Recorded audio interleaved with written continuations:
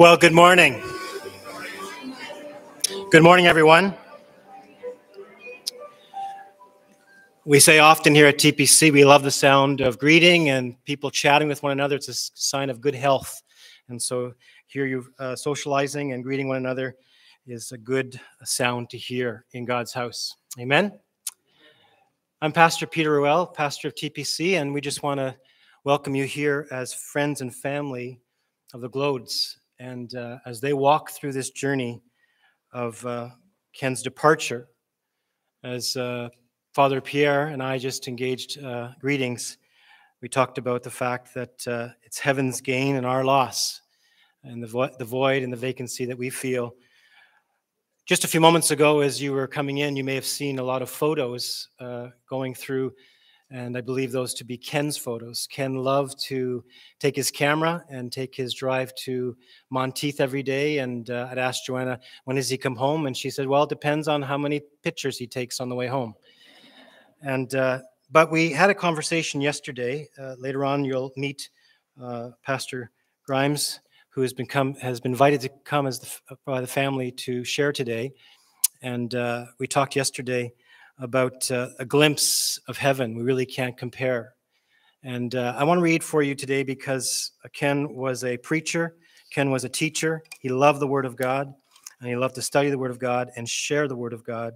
And so it would be pertinent for us to start our service today in his honor and the honor of his Savior, Jesus, by reading the Word of God. A very familiar portion of Scripture at this time would be John 14, and I'll read that in a moment but maybe not a familiar portion of scripture will be Revelations chapter 14. Revelation 14 and John 14, just one verse and a few verses in 14. Revelations 14, verse 13 says, And I heard a voice from heaven saying, Write this down. Blessed are those who die in the Lord. Blessed are those who die in the Lord. Yes, says the Spirit, they are blessed indeed. They will rest from their hard work, and their good deeds will follow them. Jesus said, Don't let your hearts be troubled. Trust in God, trust also in me. There are many, there is more than enough room in my Father's home. If this were not so, would I have not told you? I'm going to prepare a place for you. When everything is ready, I will come and get you, so that you will be with me forever. For where I am, you will be also promise of God's word. Really, today we're at a doorway. Ken is on the other side of that doorway. We're still on this side of this doorway. And we imagine what it's like on the other side of the door. But Jesus said, I am the door. I am the way. I am the truth. I am the life. And Ken is seeing what's on the other side of that door today. And uh, we trust that uh, you will be encouraged today as we honor the legacy of Pastor Ken Gloade and honor the deposit that he's made in our lives. But truly, uh, we need to see Jesus in this moment as well, the Lord and Savior, Jesus Christ, who is Ken's uh, assurance and Ken's certainty of eternal life and can be yours as well. And you'll hear about that today. You'll hear about Ken, Pastor Ken, but you'll also hear about Jesus. Amen. Let's just pray as we start our time together. Heavenly Father, we thank you, Lord, for the promise of your comfort, specifically for Joanna today. Lord, many of us in this room have relationship with Ken Gloade. Lord, many of us know him as friend, we know him as pastor. Lord, some know him as dad, some know him as grandpa, but only one person in this room knows him as hubby, and that's Joanna. And so we just pray for her today, Lord, and her family, that you would be the comfort that you promised to be as you have been in these days, these moments, these weeks to this moment, and you promise to as the days proceed. So we thank you for friends and family who have come to share their support and, Lord, their love for Pastor Ken, for Joanna, for the family. Have your way amongst us. Be glorified in our time together again today, we pray. It's in your name we pray. Amen and amen. So if you take a look at the screen, you will have a video memory of Pastor Ken Gloade.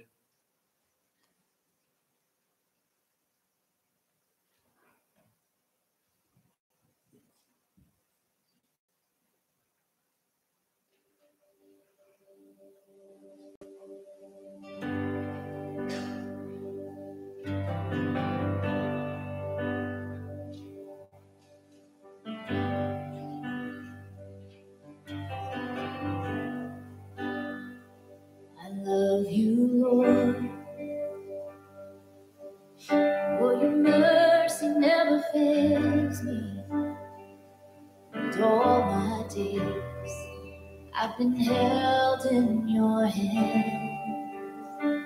From the moment that I wake up till I lay my head, oh, I will sing of the goodness of God.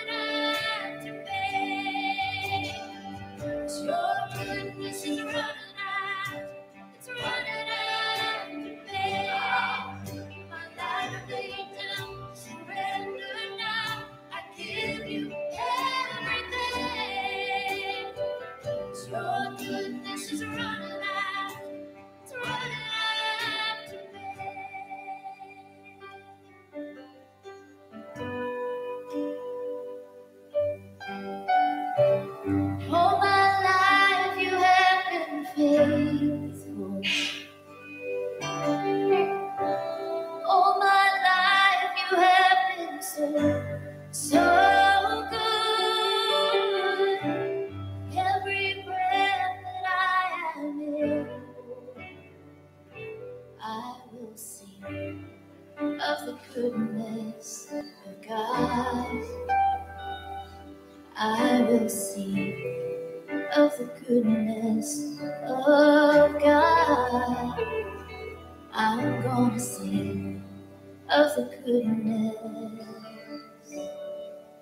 of God.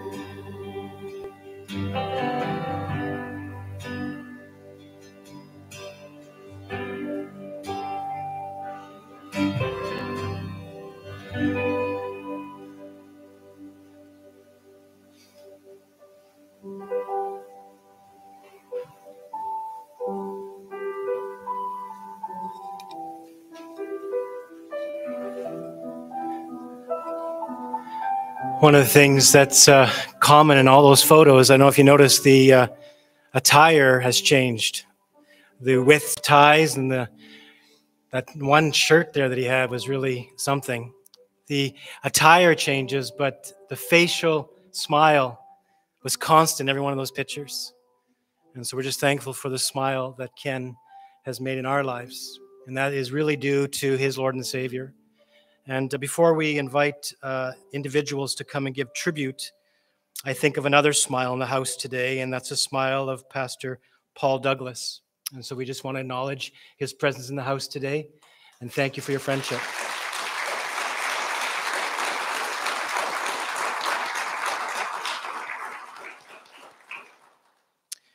So, starting off our tributes today, and we'll just ask those who are sharing today just to follow the bulletin and to come up one after the other if you wouldn't mind. But we'll start with Wade Adams, who is Monteith Correctional Complex Duty Superintendent.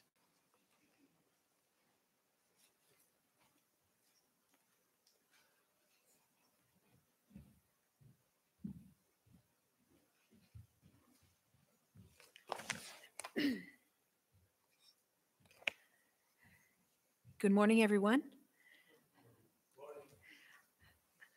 Good morning, everybody. Yeah. I will, I will get there. Do, do, Um, you, do, you want, do you want to just- introduce yourself? One little brief thing. Um, As far as, uh, I am relatively new to Monteith, uh, but my short time there um, was definitely met with Ken a few times. Um, He, uh, I was just talking to his, to Heather there a few minutes ago, and she's right. When every conversation I ended, he had me thinking, wait, there's something now I gotta go look, I gotta go, I gotta go look up um, or think about. Um, so he touched everybody there. I can't, uh, my condolences again to the family. Um, I don't, I don't believe Monteith was a place of work for Ken. I think it was just a stopping point on his day. As you see by a, a lot of these pictures that are up and around, he took a few of them on the plate on his way in to uh, into the facility, and a few on the way home. Um, so again, I'm going to turn it over to Natalie. Um, my condolences to the family. Okay. So I'm Natalie. I'm a program supervisor at Monteith. Um, I initially, when I started working with Ken, I was a social worker. Um, so in 1999, um, Ken became a duty chaplain at Monteith. Everyone at Monteith has known Ken, uh, Reverend Ken Gloade as Ken, Ken Gloade, the chaplain. Um, so today we gather to celebrate and honor the life of Ken Gloade. So he was a beacon of light at Monteith throughout the years from 1999 to 2023, so 24 years dead of dedicated service. Ken not only imparted valuable spiritual lessons to strengthen the inmates' faith, but he was a dear friend to many who have worked with him for years, over the years. According to, to his wife, Joanna, uh, Reverend Ken was preparing sermons right up to a month before his passing on September 8, 2023. That's how devoted and dedicated he was. While serving at, at Monteith, uh, Reverend Claude, uh, Ken provided regular pastoral duties, religious spiritual faith services, and care to inmates in the correction division and jail, as well as providing counseling, grief counseling, Bible studies, delivered mandatory ministry programs, which he delivered with his own dynamic and entertaining style for the inmates. He balanced rehabilitative and faith programs. With more intensive discharge plans, Reverend Ken has been resourceful in maximizing assistance for clothing and hygiene kits on release, donations from the Salvation Army, local churches. Chaplain Ken would also work everywhere, but he chose to work with inmates and with the most challenging population. He was never condescending to inmates or staff, never painting himself as a savior, but reached out to people who were struggling. He was compassionate to those who were facing tough times while serving their time in custody. He was approachable, devoted, soft spoken, spoken from the heart, and in language that inmates could understand. He did not discriminate and offered his services to inmates div- of diverse faith and ethnicity. He was a strong advocate for diversity. He prided himself in addressing a holistic approach with inmates. He had a presence of serenity, calmness, was forgiving, and he was very humble. During tough and challenging situations, he demonstrated great restraint, personal strength, and patience. He kept functioning and responding constructively uh, despite ongoing stresses and, maintained a high standard of performance.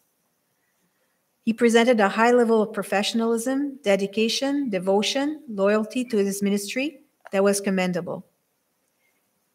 Ken was thanks for his guidance and sharing of his knowledge. He had at times provided spiritual care for those admitted to healthcare facility. He toured the special management units at, Monteith to make sure the needs were met. He endeavors the inmates to maintain a connection between them and their children. Every year, he partnered with the Angel Tree Christmas Prison Fellowship and local church communities to provide inmates a chance to give their children a gift to let them know they're not forgotten.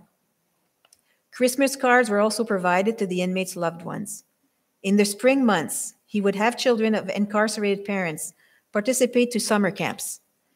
He received a local and regional award for his exceptional efforts in the Angel Tree, Christmas Tree, and summer camp programs. He has touched the lives and spirits of many children of incarcerated parents. Over the years, Reverend Ken did more than his job required. He also worked closely with Reverend Frank Liu, Provincial Chaplaincy Coordinator, Daryl Pettifer, Deputy Administration, who at the time, he's now Superintendent, social workers, correctional officers, teachers, sergeants, NILOs, volunteers.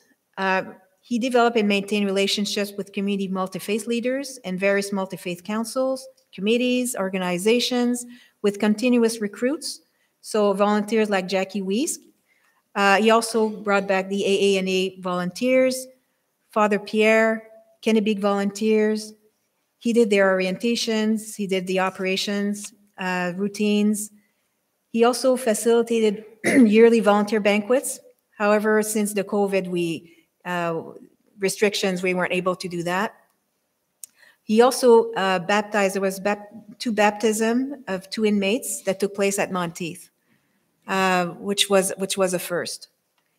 So on March 12, 2023, uh, Reverend Ken also was praised for, on behalf of the Monterey Multi Faith Counselor, Spiritual and Religion Care, uh, for again for spiritual and religious care at Monteith. I remember many times uh, when Reverend Ken dropped my off by my office as a, when I was a social worker, he would drop by for five minutes, and either we would talk about inmates maybe we had in common, the tricks that COs would play on him, like hiding his television remote controls, and talk about his personal life and or pictures he had taken of of animals he, of the northern wildlife he had taken captured with his camera on his way to work or on his way home. He shared this wonderful hobby and generously shared pictures of ducks, loons, blue herons, bears, moose. Often I would tell him, This you should share with Ducks Unlimited, as this would make a beautiful print for the world to see. Monteith Nilo shared a special bond with, with Reverend Ken. One of the Nilos shared that he was their go to person.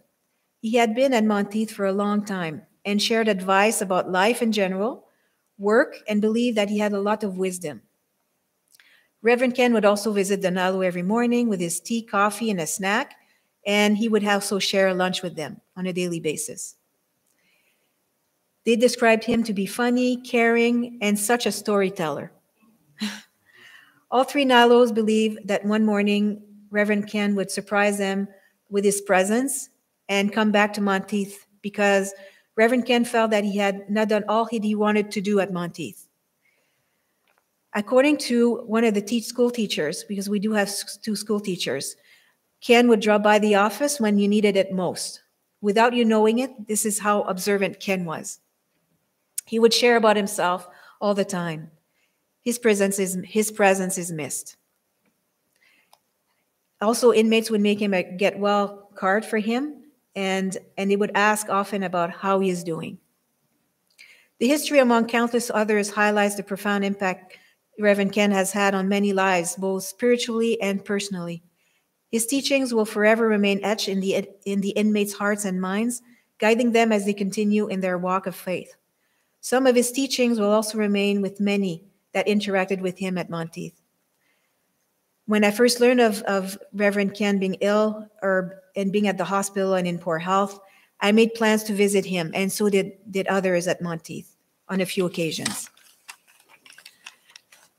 This gave me the opportunity to meet with his wife Joanna and and his son, and also so Christian, and I certainly have met Heather today. Um, so of course, uh, Christian could be Ken's twin. Losing a beloved chaplain here at Monteith is a profound and sorrowful experience. A chaplain, like any spiritual leader, leaves a lasting impact not only on the inmates, but on everyone that has contact with him. He has guided and nurtured inmates through countless chapels and left his, his imprint at Monteith. During his 24 years of service, uh, Reverend Ken provided support, guidance for both the younger and older generations of different multiple faiths. faiths. For this and the many other ways, Reverend Ken served us with unwavering love, commitment, and we express our deepest gratitude. Ken's passing is not only a time to mourn, but also an opportunity to celebrate the influence he has had, and at a time to commemorate his life and achievements on his great generosity. I, I wish to share a few final words. So, the life given to us by nature is short, but the memory of a life well spent is eternal. Cicero. The comfort of having a friend may be taken away, but not that of having one. Seneca, Roman Stoic philosopher. Again, our deepest sympathies to Joanna and, and, and the family. Thank you.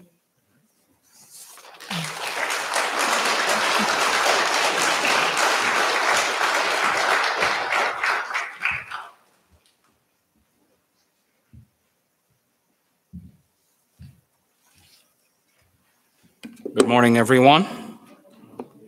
Um, my name is Frank Liu. I I started in the ministry. I don't have as much years of experience in Ontario corrections as Ken.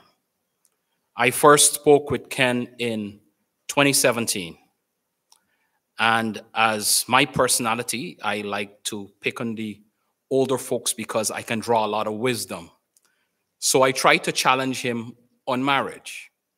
When he was coming to the conference last year, I said, Ken, um, so he said he was going to come with his wife. I said, So you listen to the wife, you take the wife everywhere you go. He said, Yes. I said, So you're kind of whipped. He says, Frank, which married man isn't? so I decided I wasn't going to challenge him on marriage.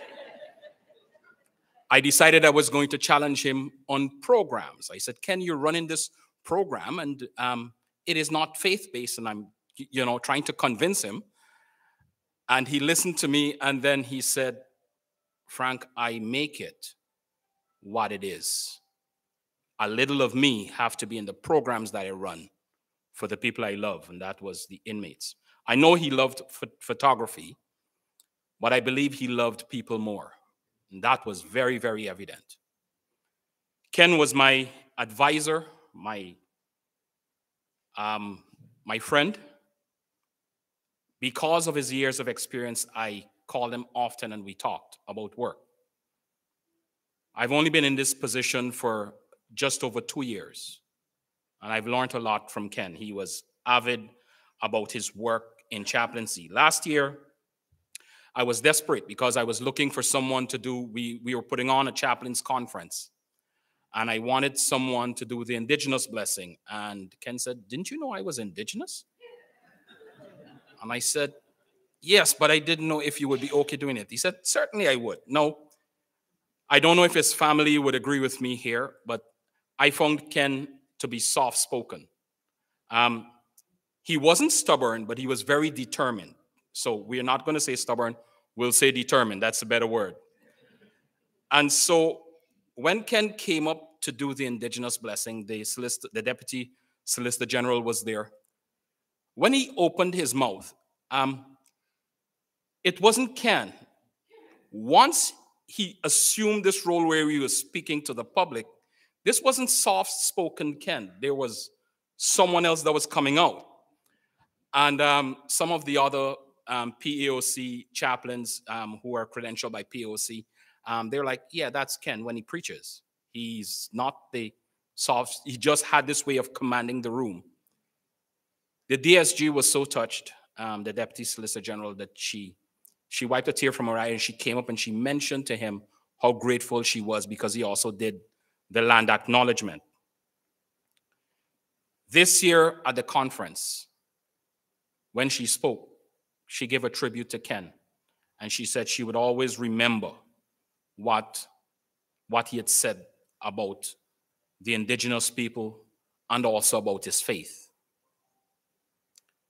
This year, we had the assistant deputy minister at our conference. And I asked him if he knew Ken. He says, Of course I do. At Monteith, I've met him several times. And I can tell you he's not shy about speaking about chaplaincy. In August 2019, Ken received the Corrections Exemplary Service Medal Award, one of the highest awards you can receive after 20 years of service. He genuinely loved being a chaplain, and when I spoke to him um, when he was ill, he gave me a call and we spoke. And I said, So, um, you know, you're taking some time. He says, I would like to come back next week.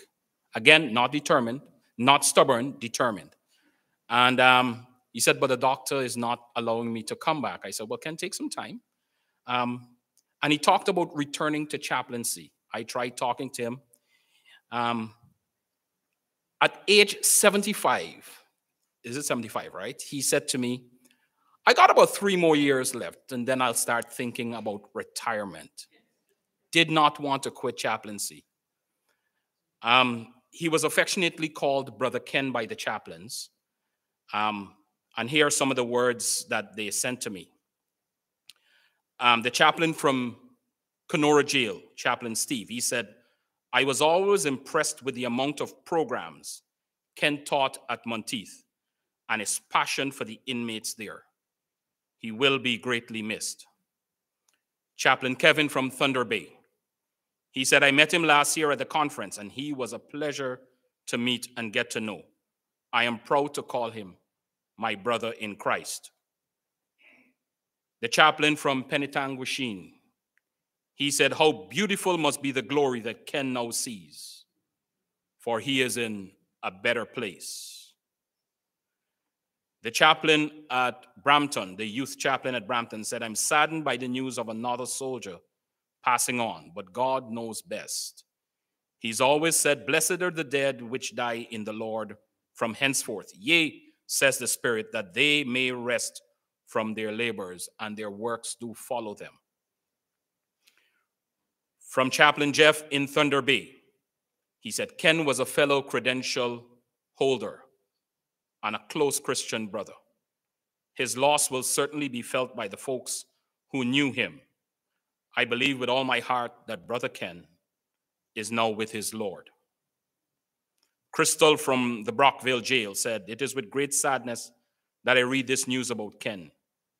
He was a blessing and a blessed child of God. Well done, thou good and faithful servant. Chaplain Danny from North Bay Jail, who came and substituted for Ken while he was off. He, he said, May the good Lord bless your family. In serving there, I could tell that Ken was well loved, well loved, especially by the inmate, by the inmates and the staff. Chaplain Marvin, who I think you met last year, um, from Ottawa, he said, It's an honor to, be, to meet both Ken and his wife at the annual chaplains conference in Hamilton last year. We were able to spend an evening together at a local restaurant to encourage each other. And I know Ken will be greatly missed at Monteith. The chaplain at Sault Ste. Marie says, Thank the Lord for the hope and the promise that is his timing. We will be together again, Ken. The chaplain from Napanee, he said, It's an honor to serve alongside such an amazing chaplain, Ken Gloade, in corrections. I was impressed by his passion and compassion for the work he did. The chaplain at Milton, said, I think it's obvious to everyone, even those who did not meet Ken, that he was loving and well loved. Chaplain Cheryl from Toronto. She said to the Ken Gloades, to Ken Gloade's family, sorry for your loss, but rejoice where he is. One of the four great chaplains in World War II, Chaplain Poling, he said to his father as he was boarding the ship to Dorchester, he said, Don't pray for my safe return. That wouldn't be fair. Just pray that I shall do my duty, never be a coward, and have strength, courage, and understanding of men. Just pray that I'll be adequate as a chaplain. Our job as chaplain is to love those. Love those without stopping to inquire whether or not they are worthy. And that was what he demonstrated. When I took this job, I knew certain parts of my role would, you know, um, would have some political aspects to it. I'm not a good politician, still not a good politician. And I remember talking to Ken about this um, just when I got into the position. Like, I really don't, I don't see myself as a politic, as, as a politician. I can't do politics very well. And he said to me, the task ahead of you is never as great as the power of God behind you. I took that with me. You know, when someone dies, we miss them. It's like learning to live with an amputation, a part of your body. We recognize that the Gloade family will never be the same. There is that human part that is missing. I heard a story, and I close with this. Ken and I, we, we, he, he, he told a lot of stories and got me into telling stories. And I read a story, I like to read stories about the, the hymns and how they evolve and what is the story behind it. And there's a story about a little girl named Cheryl who she would come to church every week and they had that roll that they would check off. And if if someone attended and never missed any week, they would get a prize at the end of the year.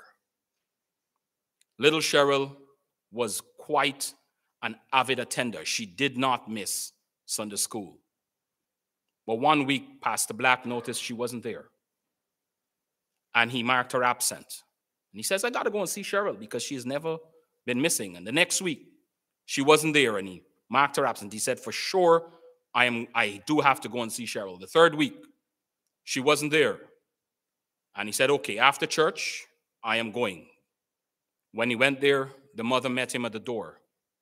With tears in her eyes, she handed him a note from Cheryl. Said, Pastor Black, Cheryl passed away a few days ago.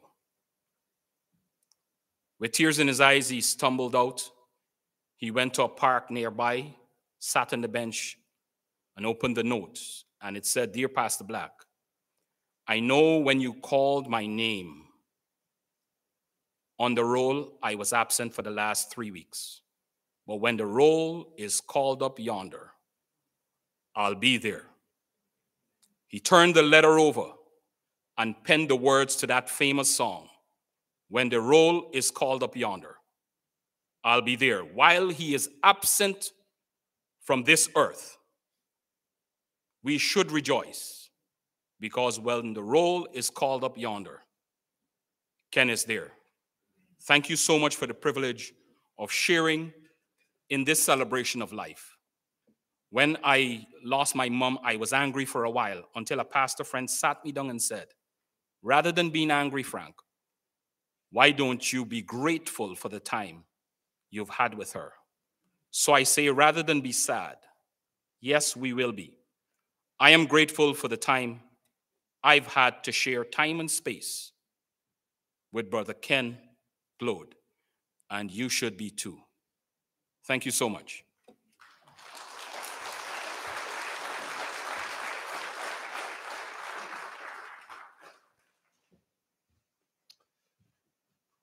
Well, what an honor it is to get to share a little bit today. Uh, my name is Jason Small, and I'm with the Pentecostal Assemblies of Canada. And so that's the larger family uh, that Frank was a part of. Uh, so as Frank, he's part of our family now too. That Ken was a part of as a credential holder with us. And uh, across Canada, we represent um, somewhere uh, around uh, 3,000 uh, credential holders, and Ken served with excellence. When Carl and I, my wife, we first got into ministry, uh, memories of, uh, of, of Ken and Joanna. So we started out, we were just these rookie pastors, and we're coming to this community called Englehart, just south of here. And so we went to Englehart and and we were just uh, we were just beginning. We didn't know a whole lot. Um, 21 year olds uh, excited to move to Northern Ontario, and I remember the first conference we went to. We were super nervous, and they had this breakout session for all the sections. We didn't even know what section we were a part of, and Ken invited us to his table the Cochrane Temiskaming section. I thought that sounded like such a weird name. I didn't even know that was what we were part of. And I remember having dinner together and they just encouraged and and him saying that he was available to help if we ever needed help. And so uh, as young rookies getting started, uh, one of the things we just didn't have a lot of resources at our church and and if Carl and I wanted to go away uh, on a holiday, there just wasn't uh, a lot of resources and there wasn't uh, somebody to to kind of fill the gap. And and uh, we used a few people from town. And actually this is a bit of a weird story. So every time carl and i we had an age aging congregation at the time. And so the first time we went away someone from the church passed away. The second time someone in the church passed away. The third time someone in the church passed away. And people started to say don't go away. Like bad things happen and uh, and so on the fourth time, we were looking to try and find someone, and uh, we met with Ken at the conference, and he said, oh, "I'm available to serve if you ever need somebody." And so we called, and he came down and served. And I remember the people said, "No one died. Get him back." and and uh, he is just such an encouragement and life uh, to so many he's been a blessing to uh, to the prison and and to all those connected and, and a great chaplain. But but more than that, he's actually been a voice uh, across the region. His uh, heart and the fingerprints of what God has done in and through him reside in many of our churches across Ontario, Quebec, and uh, and all around. He's been a voice that's been steady, faithful. As young pastors, uh, we we got to know this not just because no one died when Ken came to speak, but also because when he was there, I never had to worry as a pastor. He's filling in. I know it's going to be with excellence. I know it's going to be a word from the Lord. I know our people are going to be encouraged. I know that they're going to be inspired and they're going to be inspired to be better people in the community around them. And that's the heart in which he led. As I later became the Northern Regional Director and and, and would call and, and Pastor Ken would go to far flung areas and they would serve. And Joanna, you've been faithful in this too. And and and Timmins uh, congregation, you've been faithful to allow him to go and serve in so many contexts around. His heart and his hand has been all over. Someone said it's not what you do, it's what you put in motion. And I think through his life, he has put so many good things into motion and impacted so many congregations, so many people's lives all across this north.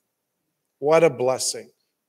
I know as the superintendent, to have people like Ken is, is literally gold as a superintendent their lives, their faithfulness, uh, the the low drama, just faithful to serve with what God's called them to do and to make a difference wherever they go. I was thinking about these words um, from Thessalonians, and it says this: uh, because our gospel came to you not simply with words, but with power, with the Holy Spirit, and with deep conviction.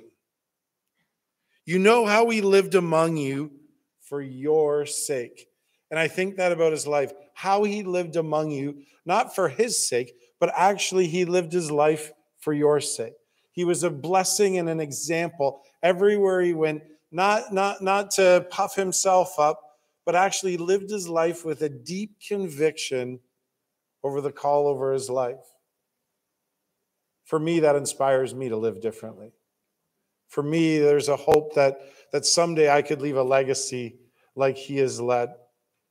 He's been a faithful, faithful credential holder for many years, been a faithful, faithful pastor, minister, chaplain, faithful with the call God has over his life. And so we honor him today.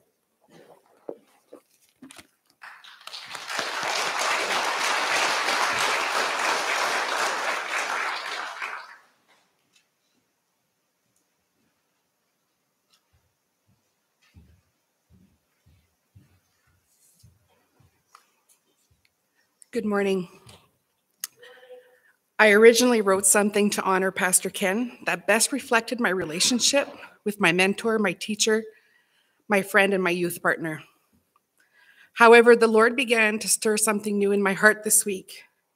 And so I'm obeying as this best reflects and honors Pastor Ken as the servant's heart that he was.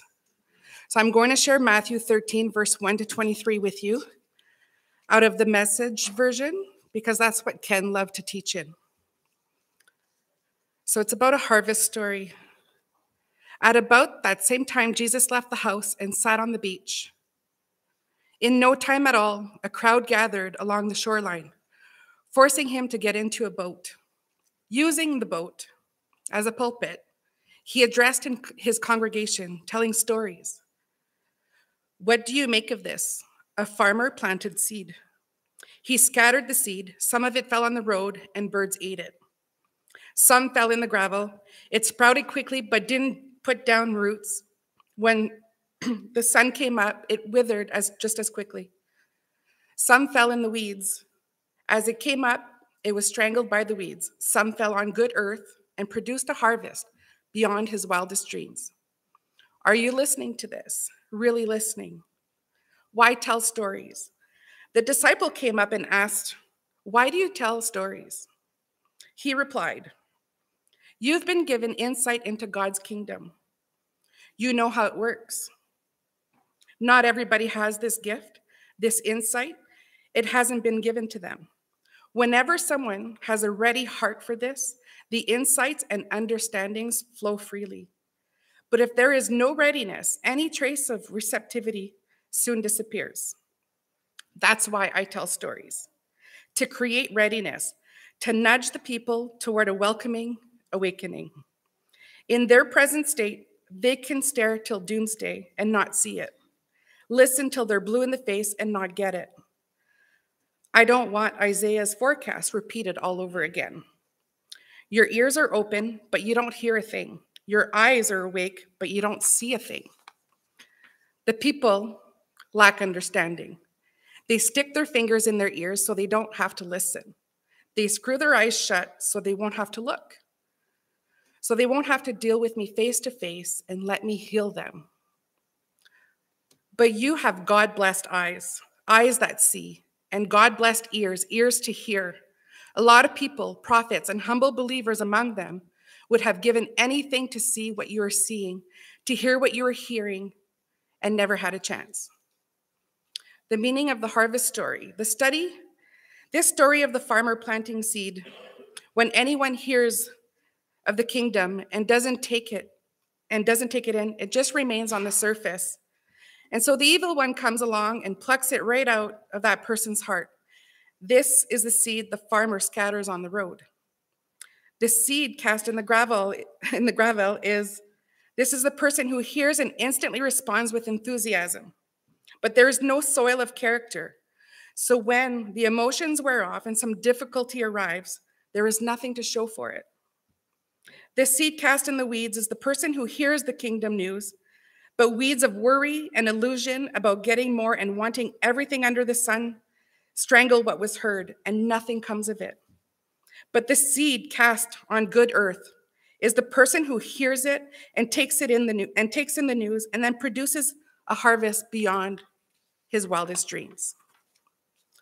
So the reason that scripture has been stirred has been stirred within me is to identify which condition our heart's in when we receive seed deposits. Pastor Ken, as the farmer, invested in each and every one of us. He prayed, he shared the gospel, he was generous, kind, loving, and compassionate. He, de- he demonstrated it through his daily living. He walked fearless. He was never short of any stories with the life he lived and used it as a, as a living testimony of what Jesus did for him. A lifetime of miraculous stories that the youth will cherish and remember for years to come. Pastor Ken deposited seeds in people's lives. This is why we are here to celebrate him. He always said to me, Jocelyn, the work in ministry isn't always noticeable right away. The harvest comes after a period of time, and the work also never ends. Just like the parable in the scripture, some fail in their faith, some stay for a season, but when seeds of faith in Jesus take root in good fertilized soil, the Lord blesses that harvest for generations. I believe we are going to continue to, continue to see a harvest in Ken's multiple ministries. Ken remained faithful to his calling at Monteith, here at TPC, and in his home.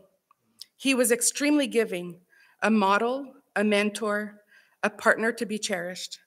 It was a privilege to serve alongside him in youth ministry. Thank you.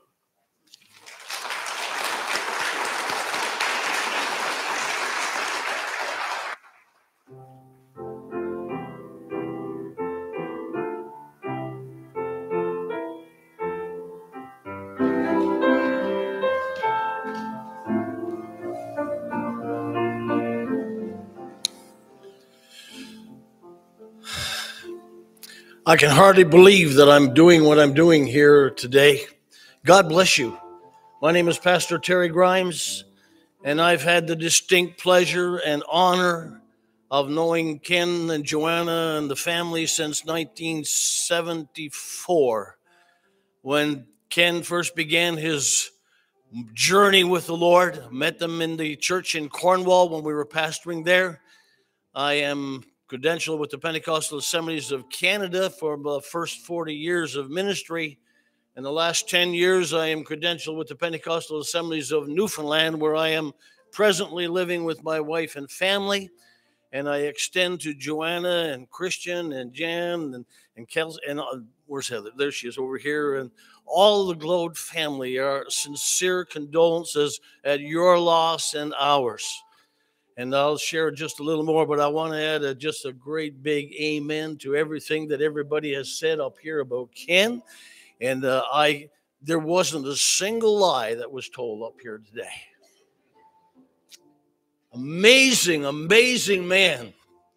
And I'm so honored. But just a few moments before the service began, Joanna says, I want you to do something for me. She said, I want you to lead in singing, Oh, for a thousand tongues to sing my great Redeemer's praise.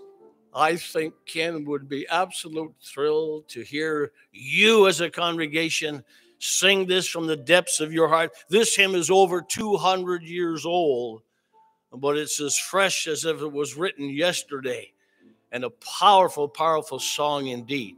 So I'm going to invite the congregation to stand and together we're going to sing from the depths of our heart, oh, for a thousand tongues to sing my great Redeemer's praise. For a thousand tongues to sing my great Redeemer's praise, the glories of my God and King, the triumphs of his grace. My gracious Master and my God, assist me to proclaim, to spread through all the earth abroad the honors of thy name. Jesus, the name that charms our fears, that bids our sorrows cease. Tis music to the sinner's ear, tis life and health and peace.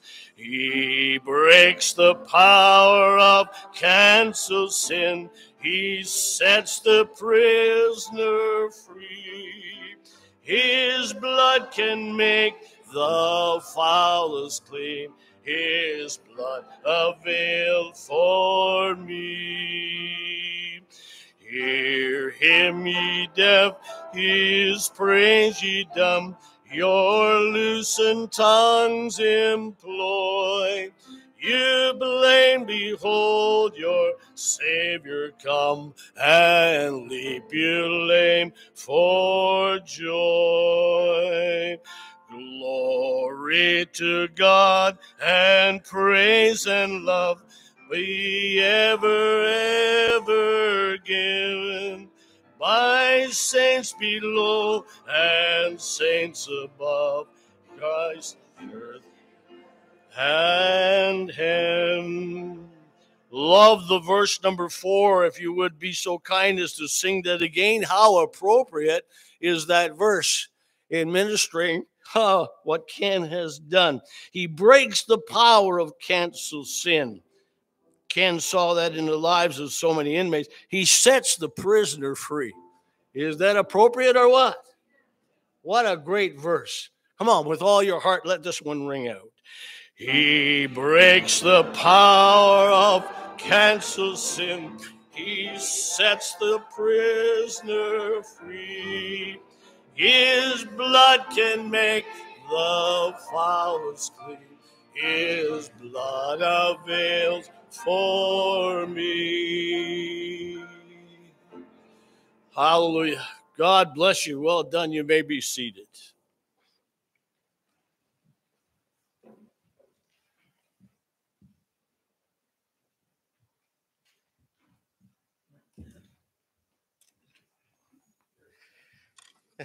as the as the baby of the family, uh, my uh, dad always accused my mom of letting me get away with anything, and uh, she he always told her that she would defend me right to the death.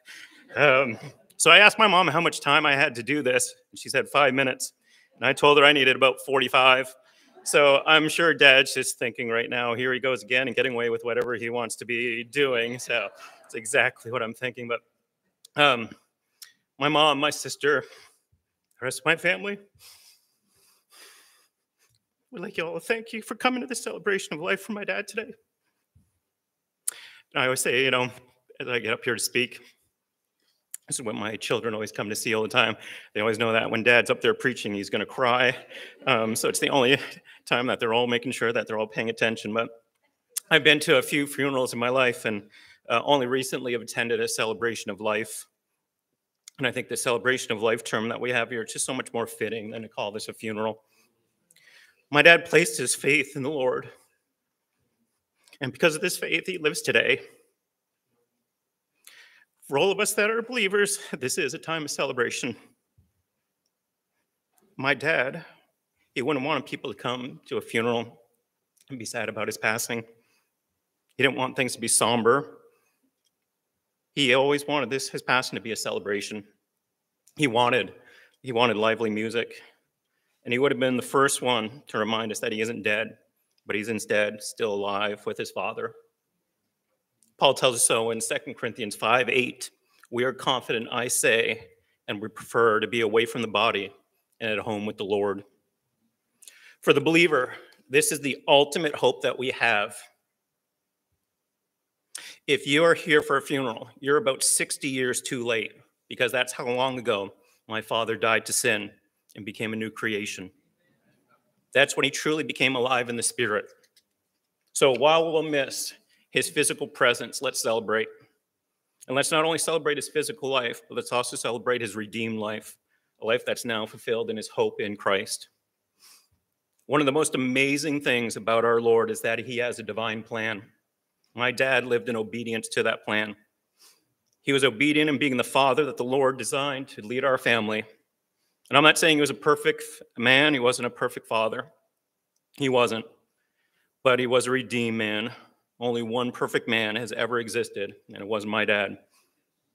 But he had two defining attributes that were perfect for our family, two important characteristics that's had a great influence on my life.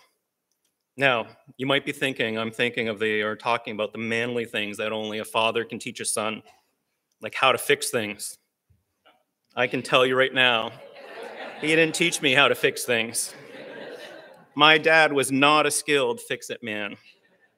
And although he was a lover for the power and strength of duct tape, he fixed most things with duct tape. He loved duct tape. And again, he used it to fix everything. He found uses for it that you wouldn't even thought of.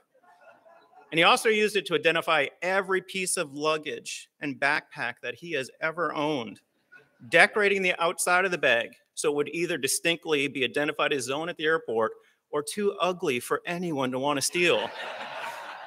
he loved duct tape of every color and design, and it was his go to tool for fixing everything. And that's not one that I've embraced. But no, fixing things isn't the legacy he passed on to me.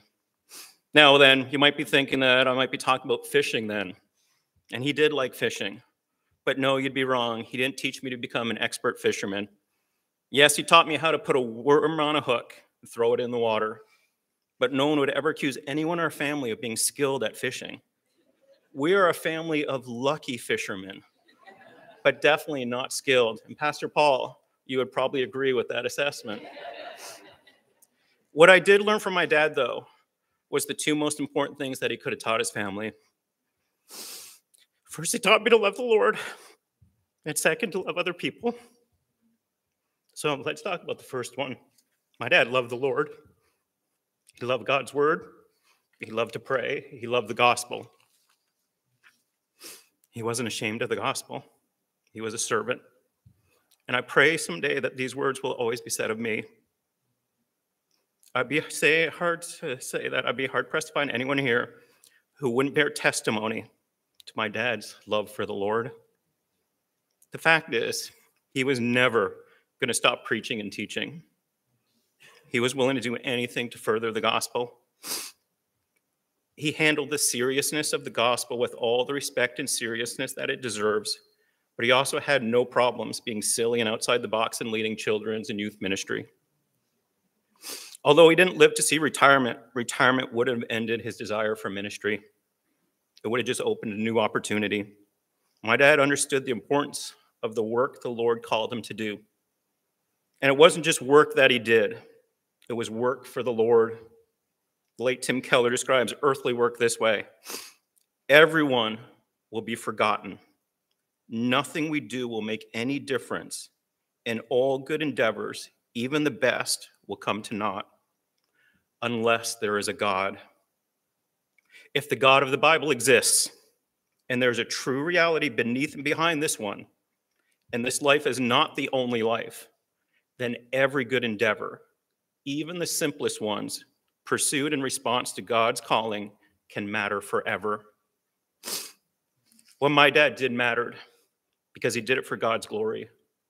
What my dad did, he did because of his great love for the Lord, his faith in Christ, and the finished work of the cross in redeeming his sin. Although he ran from his calling early in his adult life, his obedience to God's calling has had an impact on many gathered here today. And I am confident that this obedience will matter forever, if not just for the eternity that he will spend with our Savior, Jesus Christ. The second thing that I learned from my father was how to love others, even people that on the outside seem really hard to love. It's easy to love family and friends. It's even relatively easy to love those sitting right beside you here in church. What about those that have really messy lives, have lots of baggage, or don't know the Lord? My dad was able to find ways to insert himself into those messy lives all of the time. It wasn't something that I think was even overly fluid or easy for him. I think that he had to work hard to connect with many of the people that he came across. But he was able to find ways that gave him inroads into real relationships with hard to reach people. His probing questions could catch you off guard, but I learned much too late that he was just making connections. Bruce, you reminded me of this, but he would often say things or make a statement about something that would immediately generate the thought, What are you talking about? Or there's just no way that you really think that. But then conversation would start and he would go from there. He truly loved people and he was always able to find ways to connect. And he did this everywhere he went, whether it was here in Ontario or in Nova Scotia or in Saskatchewan and Quebec. My parents made connections everywhere they went. They just loved on people. And he showed me through his actions what love looked like. He taught me how to rightly love my wife, love my children. As a child, I never heard raised voices in our household, never any harsh words towards us kids. This wasn't the product of him having a great childhood. He certainly didn't have a storybook childhood. But instead, his love can be attributed to the transforming power of Christ's love in his life, and it was on display in the way that he loved us. I saw firsthand his love for my mom, and I try to love my wife the way that he loved my mom. I'm confident that my daughters will have the same expectations of love for their future husbands because of his example of true love. So it is with great sorrow that we will miss my dad's presence in our family, but with great, great joy, we celebrate the love that he shared for all of us. Over the past few months, as I've had the opportunity to get to know many of you here in Timmins, I've heard so many firsthand stories of how my dad's love and friendship touched many of you deeply. The outpouring of love that I've witnessed in this community from my parents has reminded me that although I'll go home to North Carolina, my sister's going to go home to Nova Scotia, that the family and body of Christ that has loved my dad and mom all of these years will continue to love my mom in his absence. I can't thank you enough for that. I want to close with a special memory my dad. As I was thought about what stood out to me the most about my over my lifetime with him, you would think that maybe I might be thinking of something from my childhood, such as him cheering me on at football games, and he did that, and it was impactful. But I'm convinced what I will cherish the most was reading the Bible to him the last few days of his life. Just so glad I had that opportunity. It sounds so simplistic. But of all the things that I will remember, it'll be having an opportunity to bathe my dad in his time of need in God's word. Because that's what he did for us as we grew up to be servants of God. I'm thankful, Dad, for your life and example and looking around at all these faces in front of me right now, I know the work you did for God's kingdom really mattered because of your obedience to God.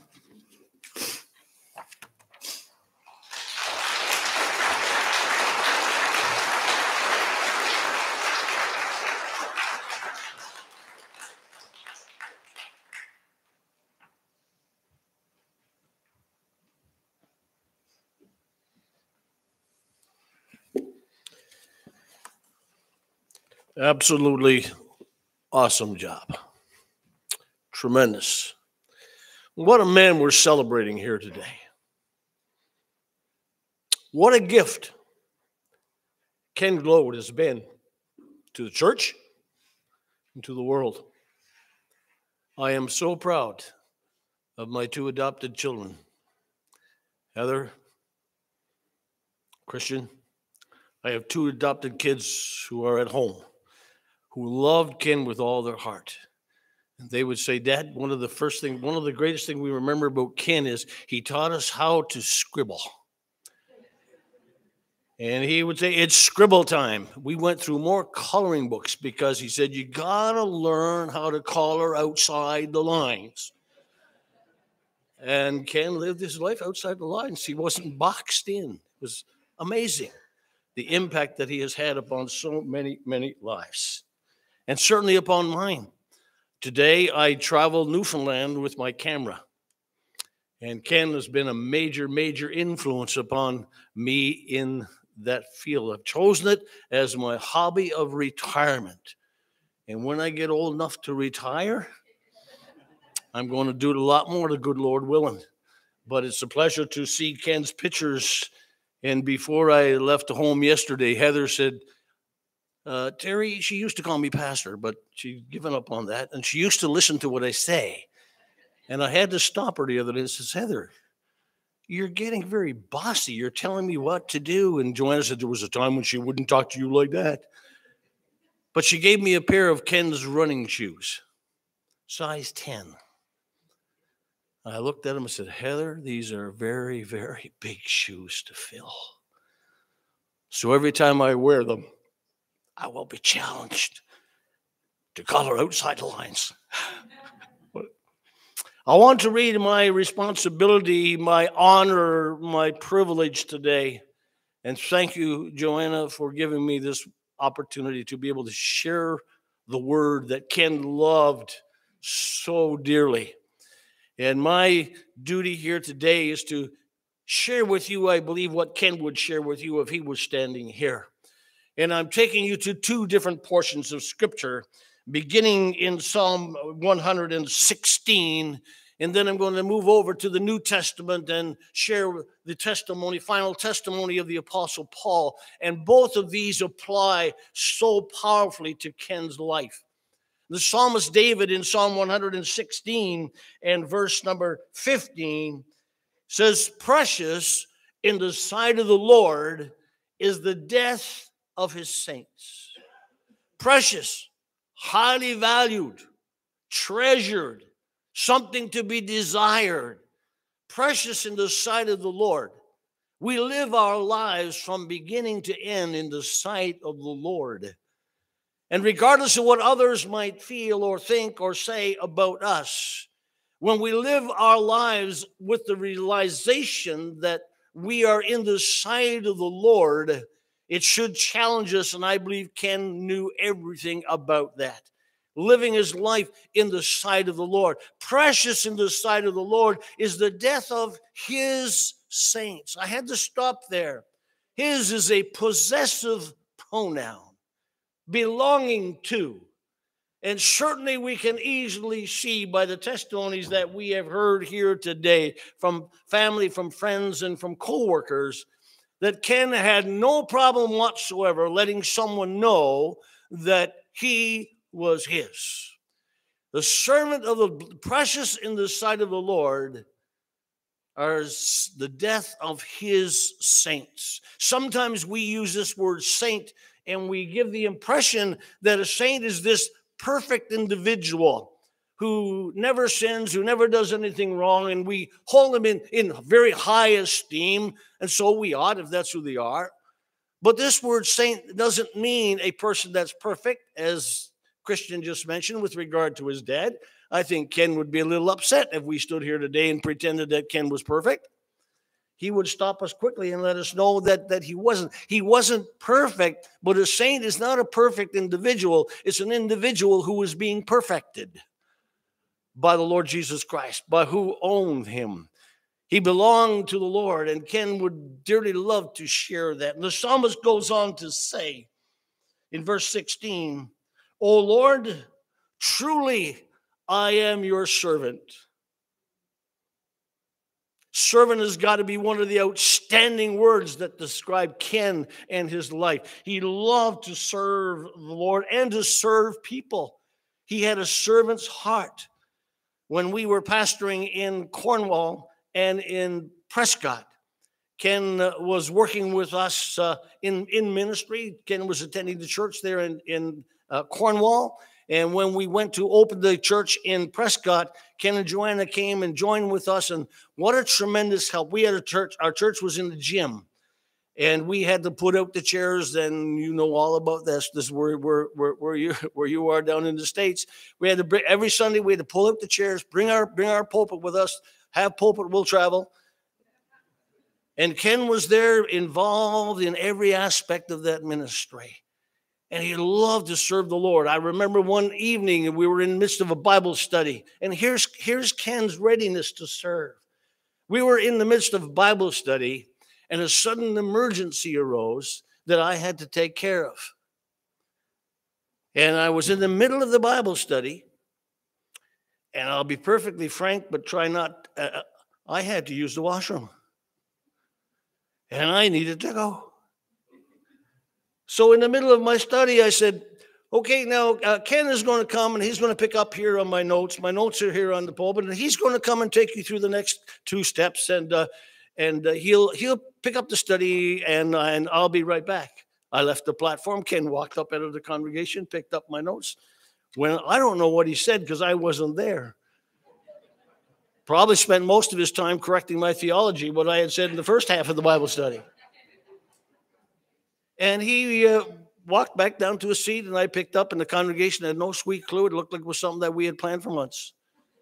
But Ken was always ready to serve the Lord. And the psalmist here says, and the last part of that, Lord, truly I am your servant. I am your servant, the son of your maidservant. You have loosed my bonds.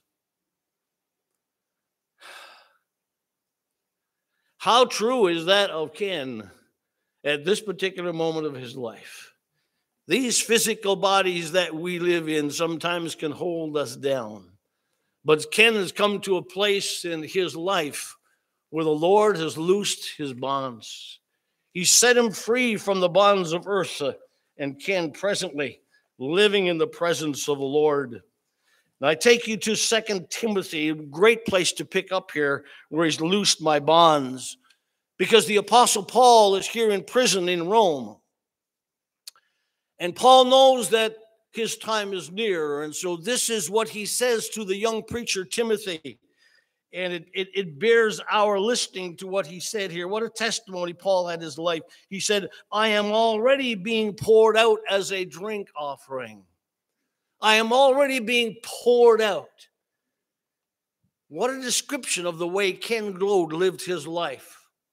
He poured out his life. He said, I'm already a pouring out as a drink offering unto the Lord. Paul had given his life to serve the Lord. He writes in Philippians and he says, For me to live is Christ, and to die is gain.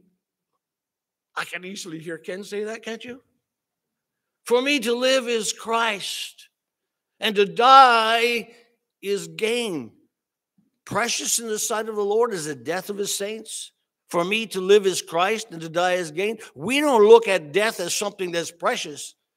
I've been in the hospital and I've lived enough uh, long enough in Corner Brook where the hospital is, and I pull over to the side of the road more times than I can recall when the ambulance is coming by and the lights are flashing and the, the sirens are going. What's that all about? Somebody doesn't want to die.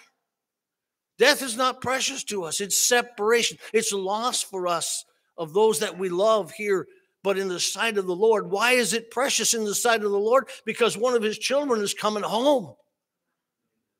One of his children has been loosed from the bonds of earth. One of his children is no longer going to experience sorrow and pain and tears. You have children. When your children come home, Christian and Heather are, not living with Joanna and Ken anymore. But when Heather and or Christian come home, Joanna is filled with joy. Right, Joanna? she just smiled. She never, she never confirmed it. Yeah, that's true. But there's joy in the hearts of parents when their children come home. And when the child of God goes home to the Heavenly Father, it's precious in the sight of the Father that their, child, child has come home. And now Paul here is saying the same thing with regard to his life. For me to live is Christ and to die is gain. If I can't say for me to live is Christ, I can't say for me to die is gain. But what a beautiful combination. And then Paul goes on to say, the time of my departure is at hand. I walked through the airport in Toronto just a couple of days ago. And I noticed some signs above. One sign said arrival, and the other one said departure. Every one of us in this room, we, ha- we have a time of arrival. January the 19th, 1948, Ken Gloade had an arrival. September the 8th, 2023, he had a departure. Ken had no control over either one of those. I didn't get to choose when I was going to be born, and I don't get to choose when I'm going to die. But between my arrival and my departure, I've got a lot of decisions to make. Ken made more decisions than probably we could ever begin to dream in the midst of his ministry and just in the midst of his life. And I am confident that every decision he made wasn't a good one. But he made many, many marvelous, wonderful decisions to live for Christ and to live for people. He lived his life in such a marvelous manner he did not have control over when he was going right up to the last few days before Ken passed into the presence of the Lord. He still wanted to go back to work. He still wanted to, he was sort uh, he was going back to work. He was still doing sermons when he was in the hospital, getting ready to go back to, he loved what he was doing. And if Ken could have done it, he would have stayed here, even though to depart is, to, is far better. But he just loved what he was doing for the Lord. And he was going to do it as long as he could. He said, for, for the time of my departure is at hand. When Paul wrote those words to the young preacher Timothy, there was three things, three pictures that would be in the minds of this young preacher Timothy. Number one, it would be a picture of a soldier. The word departure is a picture where a soldier has been out on the battlefield and he has been fighting fiercely in the battle. But the battle is over now, and the soldier has won the war. He's taking down his tent, he's packing up his gear, and he's going home. Ken was a faithful warrior of the cross of Jesus Christ, and he's departed to go home. It will be a picture of a farmer who's labored hard out in the field in the hot sun, but evening has come. The farmer has taken the yoke off of his oxen and he's gone into the home to be with the family for the evening. Ken labored well in the work of the Lord, but now his labor is done and he's gone home to the family, the family of God that he's a part of. And lastly, it will be a picture of a sailor who has had a cargo to deliver. He has delivered that cargo faithfully to the port. He's loosed his moorings and he's now sailing home. Ken had a responsibility. Ken had a plan that was God's plan for his life. Ken fulfilled that as we look in just a moment. He fulfilled that and he's now gone home. He sailed home back to his Lord and Creator. Paul says, I have fought the good fight. I have fought the good fight. Not necessarily a good fight when I was going to school, even in kindergarten, well, I wore glasses. Anybody wear glasses when you were in school, like like eyeglasses? These things, I mean. When I was in kindergarten, I was one of those nerds that always came home with a band-aid between his eyes with the, the glasses that got all busted up because I was in a fight because somebody called me four eyes. I never considered a fight to be a good fight if I lost. But if I won, I thought that was a good fight. I got Ken won. He has fought. William Barclay, in his commentary on the New Testament, said every human being is a walking civil war. The flesh wars against the spirit, and the spirit wars against the flesh. The plans of men war against the plans of God. And every human being is a walking civil war. But when the war is over, Ken was able to say, I fought the good fight. Why is it good? Because he's won. I've often heard people say, you know, so and so, they, they lost their battle with cancer. When a child of God goes home to be with the Lord, there's no way, shape, or form you can call that a loss for them. A loss for us, absolutely, but oh, what gain for them. Ken could say, I fought the good fight. He fought, he fought against the things that were coming against him in the flesh, and he's won. He's with the Lord. I finished the race. There's one thing to finish. I mean, it's one thing to start well, but it's another thing to finish well. And when you look at Ken's life story before us, Ken was not born with a silver spoon in his mouth. He was born with a tremendous disadvantage. But Ken discovered God's plan, God's race, God's plan for his life. And he lived that life. He finished that course. He did what God had called him to do. And I believe Ken lived one of the most fulfilling lives any human being could live because he discovered God's plan for his life and he lived it out to the strength and the power of the Spirit of God. And he was faithful. The last part of says, And I finished my race, I have kept the faith. Faithful certainly is another one of those words that absolutely neons the life of Ken Gloade. He was faithful to his God. He was faithful to the Word of God, and he was faithful to the God of the Word. He was faithful to his beloved wife. He was faithful to his family. He was faithful to his purpose.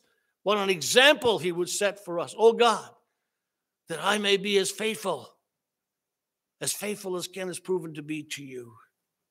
He goes on to say, I've kept the faith. And finally, and I'm getting close to that finally, that applies to this.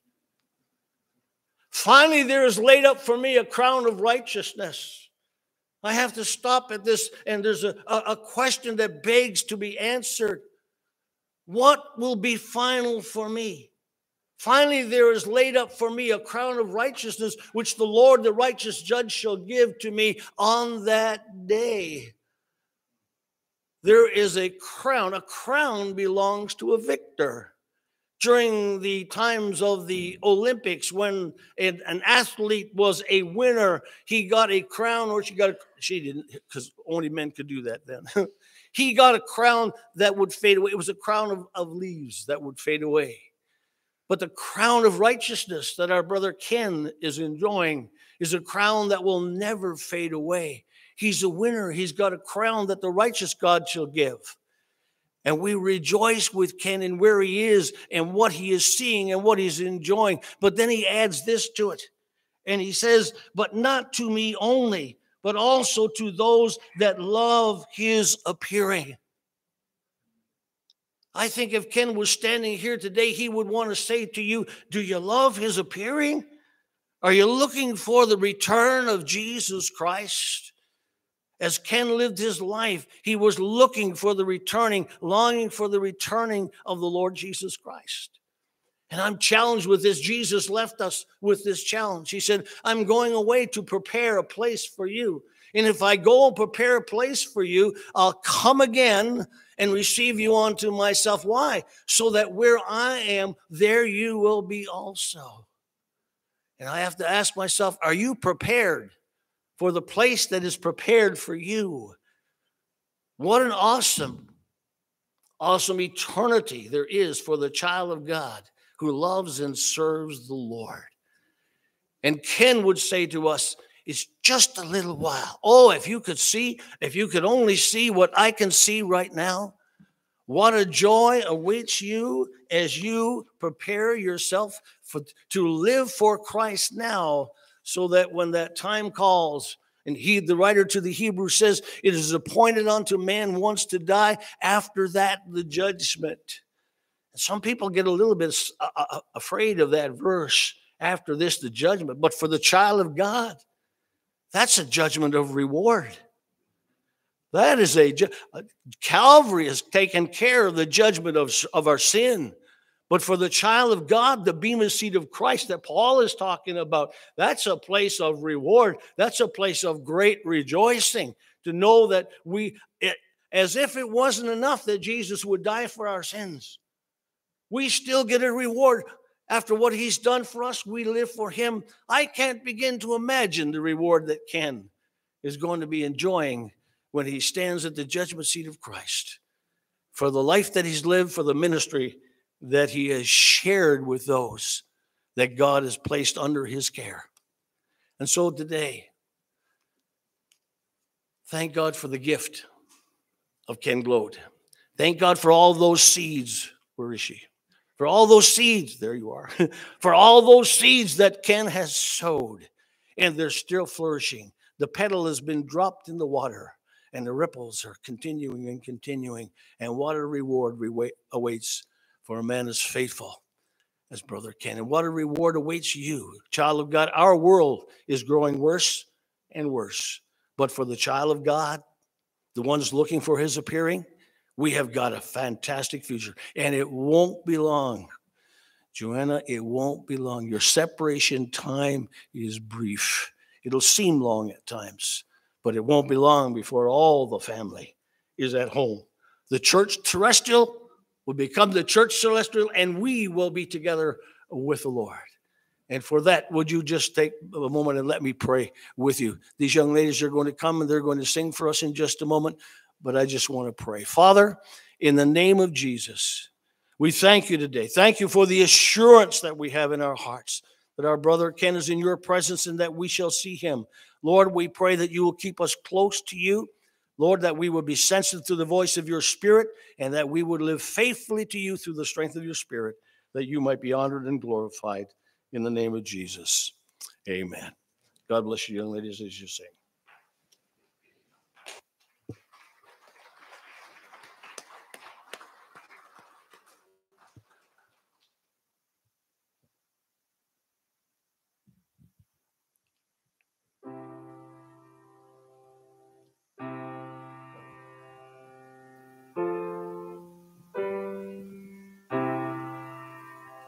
You unravel me with a melody.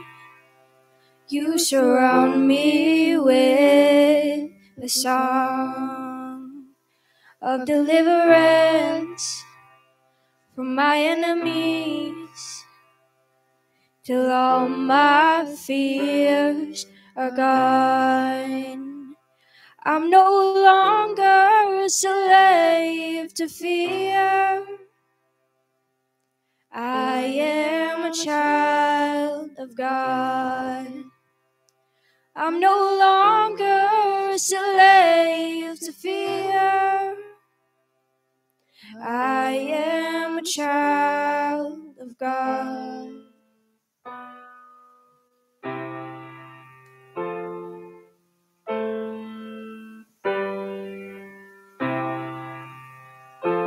From my mother's womb, you have chosen me. Love has called my name. I've been born again into your family. Your blood flows through my veins. I'm no longer a slave to fear. I am a child of God. Oh, I'm no longer slave to fear. I am a child of God. I am surrounded by the arms of the Father. I am surrounded by songs of deliverance. We've been liberated from our bondage. We're the sons and the daughters. Our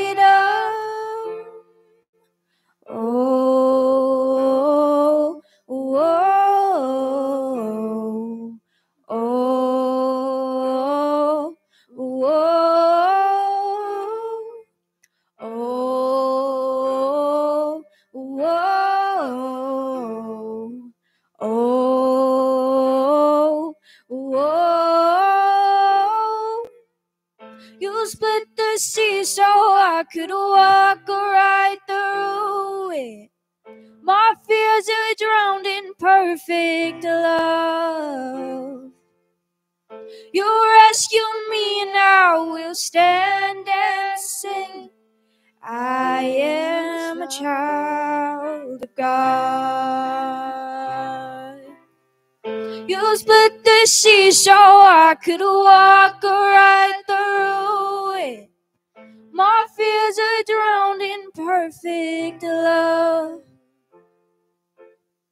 You rescued me, and I will stand and sing. I am a child of God. You split the sea so I could walk right through it. My fears are drowned in perfect love. You rescued me, and I will stand and sing. I am a child of God. I am a child of God. I'm no longer slave to fear. I am a child of God. I'm no longer slave to fear. I am a child of God.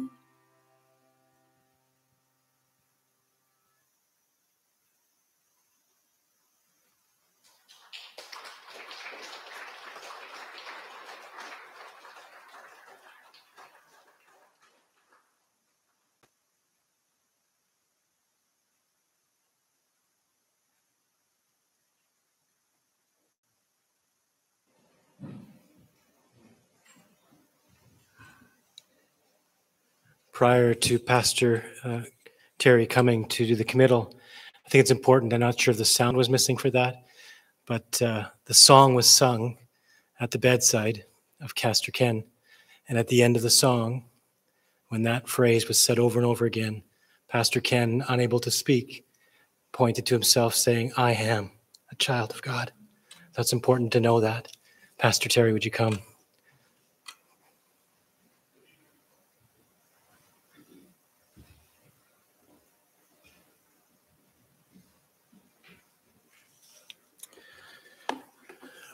What a great testimony.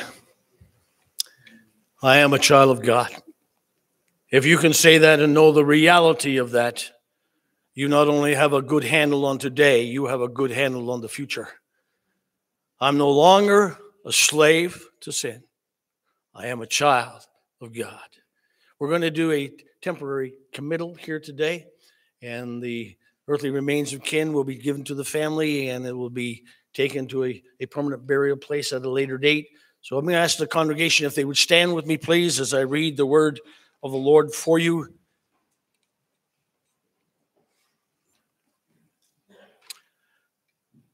The scripture says, We brought nothing into this world, and it is certain that we carry nothing out. The Lord gave, and the Lord has taken away. Blessed be the name of the Lord. Behold, I show you a mystery. We shall not all sleep, but we shall all be changed in a moment, in a twinkling of an eye at the last trump. For the trumpet shall sound, and the dead shall be raised incorruptible, and we shall be changed. For this corruptible must put on incorruption, and this mortal must put on immortality. And so, when this corruptible shall have put on incorruption, and this mortal shall have put on immortality, then shall be brought to pass the saying that is written Death is swallowed up in victory. O death, where is your sting? O grave, where is your victory? The sting of death is sin, strength of sin is the law. But thanks be to God, which gives us the victory through our Lord Jesus Christ.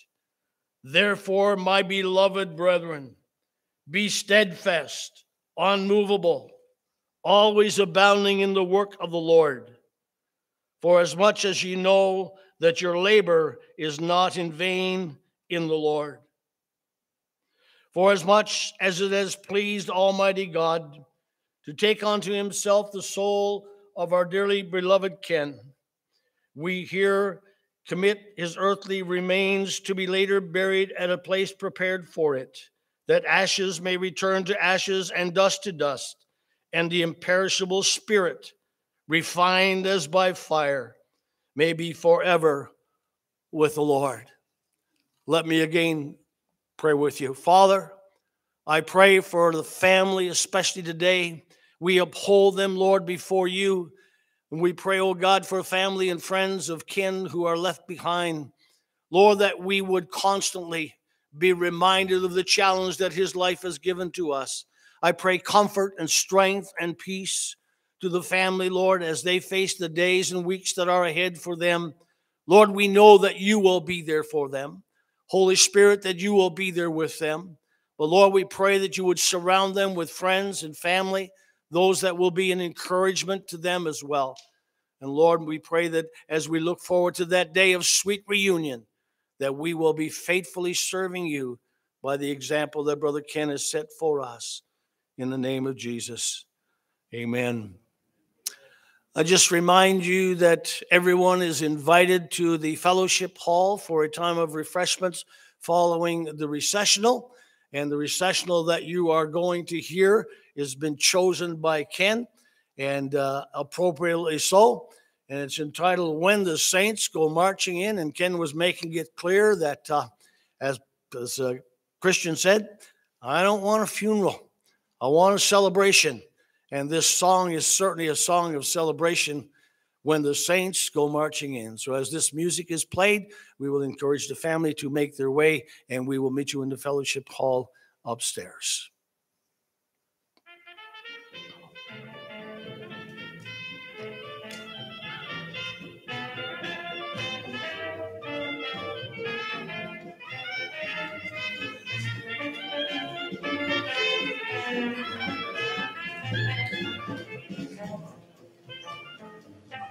Thank